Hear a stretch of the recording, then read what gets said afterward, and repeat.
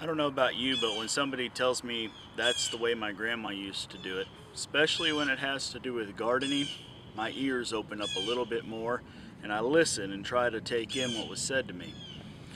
I've heard over the last, I don't know, year or so, how people enjoy putting Epsom salt or magnesium sulfate onto their gardens. And every time somebody talks about it, I always hear, well, that's how the old timers did it, or that's how my grandma did it. And it's made me want to try it out.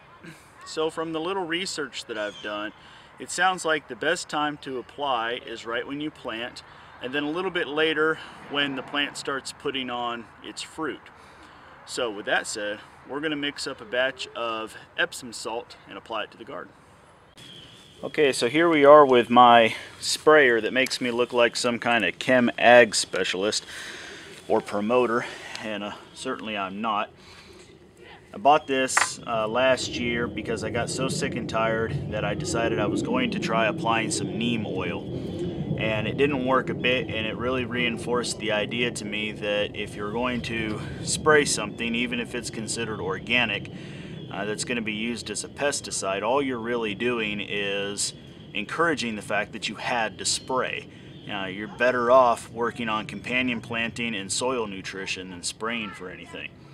So that said, that's the story behind this guy. I've got my bag of Epsom salt here, and the only thing I'm going to tell you about Epsom salt is make sure that that's all you're getting is magnesium sulfate. Don't go to the store and have someone show you some Epsom salt and then find out that there's also a fragrance or something that they've inserted because they're trying to sell it to you as a uh, bath salt. So this is pure Epsom salt. You can get it from uh, most pharmacies, uh, department stores, uh, groceries, pretty much anywhere. And I've, let, I've read a good bit about how much to apply. And the one thing I did keep reading was that you don't have to worry about applying too much because it doesn't build up and uh, there's no harm to it. The plants are just going to take what they need. It's not going to do any damage to the soil or to the plant. So I'm going to go on the high end of what I read, and the high end tells me to put two tablespoons to every gallon of water. Now this big old sprayer here will hold four gallons, and I don't expect that I'm even going to use one gallon of water on what I'm about to spray, but I'm going to mix up two gallons just for good measure so I don't run out. My sprayer happens to have a automatic um, agitator inside of it. But either way, I'm going to add water to this, shake it up really well to make sure it dissolves before trying to apply.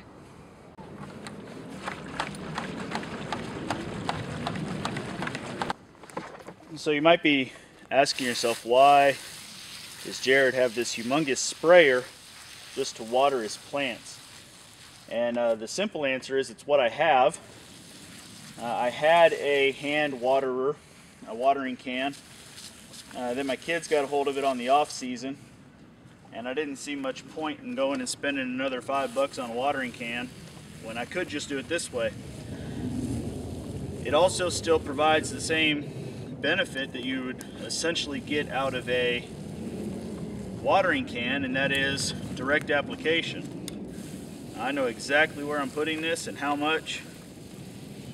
And I don't have to worry about anything else like, you know, if I were to attach one of those uh, bottle nozzles, I don't know what the right term for them is, that goes on your garden hose and just you end up spraying it everywhere, not just where you want it.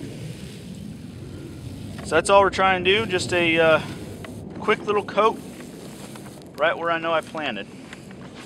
Another benefit of this, if you watch the planting video, you know we put lettuces on the inside. That nozzle lets me get to right where I know the seeds are.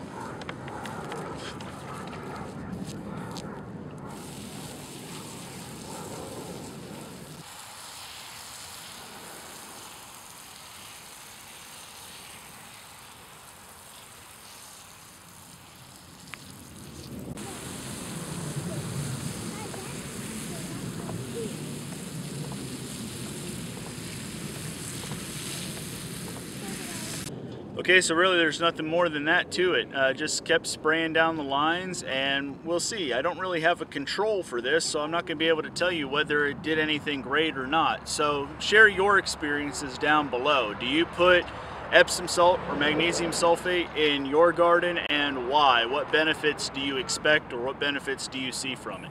Thank you all for watching. See you next time.